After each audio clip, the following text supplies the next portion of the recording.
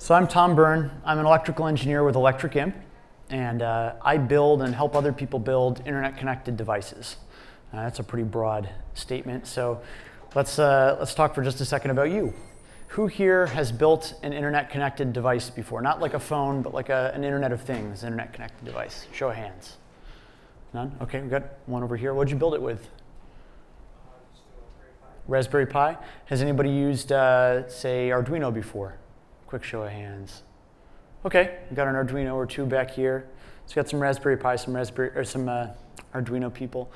Uh, internet, uh, Electric Imp is an Internet of Things platform. So you can think of this as being sort of like uh, an Amazon Web Services for the Internet of Things. And the goal is just to make it really easy for you as a person who wants to build one to 10 million internet connected objects to focus on that object, its behavior, and what makes it good, rather than focusing on connecting it to the internet, keeping it connected, and keeping it secure. Whew, it's quite a shock. Um, so Electric Imp is designed to be kind of a platform of choice for people that are making many things. And when I say many, I mean 100,000, a million, 10 million of something. Um, but a lot of the design optimizations that have gone into building a platform like that make it an awesome prototyping tool and an awesome tinkerer's tool as well. Um, it is and always will be free for uh, hobbyists and tinkerers and people prototyping. And uh, we've got uh, kits with us today, and we'll come back to that in a second. Um, but if you're building an internet connected device, uh, the way you do it with Electric Imp is to build your device around one of Electric Imp's microcontrollers. So we have some of those with us today. Here's one. It looks like an SD card, but it's not. This is an ARM microcontroller and a Wi-Fi SoC and an antenna and some memory and some RF front end, all packed up into a little package that looks like an SD card, plugged into a board with some LEDs on it. And I'll show you the code that's running on this at the end. So every device uh, runs the IMP embedded operating system that handles keeping a secure connection to the IMP cloud. And in the IMP cloud, uh, there's a, so on top of the IMP OS, there's a VM where your application code runs. Um, and that's great because it means that you can push bad code to the device and the device isn't bricked. You can push new code to it later and recover the device, which is great if you have it, as some of our customers do, in a coal mine or uh, up a tree or in a beehive. These are all real things that have actually happened. Um, every device also has a partner agent that runs in our cloud. Uh, it's another VM that uses the same APIs as the device, except that it has some APIs to make and receive arbitrary HTTP requests. So what you wind up with is one or 10 million devices um, with an HTTP interface that you, des you design and implement so that you can uh, integrate it with other cloud software as if your hardware was itself a cloud service. Uh, anybody who's followed IoT news a little bit or uh, tinkered with this or, or, built many of something knows that uh, IoT is going through some growing pains as far as security goes.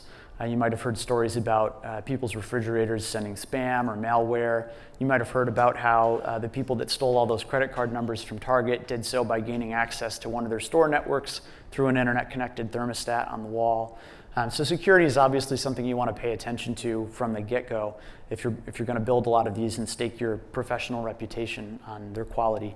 Uh, so Electric Imp kind of takes care of a lot of the common problems there, including everything from secure boot to uh, industry, industry standard encryption, uh, talking from the device to the agent.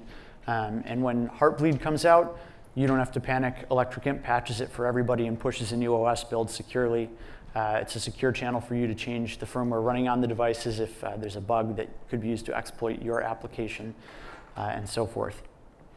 So that's, that's why it's great. Um, but you're all developers like I am, or you've, you've expressed some interest in doing something like that. Uh, so here's the end of the pitch and the start of actually doing some fun stuff. Um, over in the Hacker Lounge today, we have, I think, about 40 or 50 dev kits that are just like the one that I have here with me, except these all include a little sensor board that plugs into your breakout board. And this allows you to log the temperature, the humidity, the air pressure, and the ambient light level. And uh, we've built some simple tutorials for you to build a weather station, get some graphs going, and connect this to New Relic Insights that you can actually uh, take a look at your data in that context using a New Relic query. So here are all the people that have successfully connected today. They all won a uh, flying remote controlled shark, as you can as well. Um, and this takes about 20 to 30 minutes, even if you've never developed with Electric Imp before. If you've never developed uh, with an embedded platform before, you should still come check it out because you'll definitely be able to get it done. Um, and just to prove that, here is something that I've built. Uh, so this is the Electric Imp IDE. It's a web-based tool for developing your Electric Imp application. This is great because there's no tool chain. I don't have to install anything. And any place I have an internet connection, I can work with any of my devices that are connected. Um, on the left-hand side here, you see the code that's running on the agent for this device. Um, so it's actually got its own URL, and it's interacting with the Twitter library that we've written.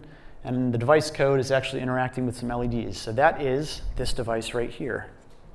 And this is 24 lines of code that implement a real-life Twitter notification light. So this is set up so that uh, every time uh, someone tweets uh, anything with the hashtag selfie, uh, we're going to change the color on this. That's why it's so hyperactive. But we could change this to point at FutureStack15 or Electric Imp or whatever you'd like, point it at your own username. Um, and since I've got five minutes, let's just take a look at these 24 lines of code. We can go through the whole application. On the device side, here's what makes it go. So we've got our uh, library for the WS2812. That's these LEDs. They're what, um, if you're a SparkFun or Adafruit person, you might have seen these called NeoPixels before. These are really cool. They've got a little one-wire serial interface. So we clock in some bits, and those set the color of each of the R, G, and B LEDs on each of the pixels. So this, this library abstracts that. Um, this is some administrata that you don't have to worry about. We bring up a SPI interface to send our signal, pass that SPI interface to the uh, WS2812 class to create a pixel object. Um, this library is documented on the uh, Electric Imp Developer Center, so you can see the methods that are available for you to use. And then every time the agent sends us a tweet event, we call this callback function. So we create a new random color um, by creating three values between 0 and 10. I can change the brightness. It's blindingly bright at the max 255. So we write that new random color into each of the five pixels and write the frame out. That's the works. Um, okay, so the complexity must all be on the agent side, right? Well, not so much. This is all keys. And if you take a really quick photograph, you can go ahead and get me banned from Twitter. Uh, so we pull in the Twitter class that abstracts uh, all of the Twitter interactions we have.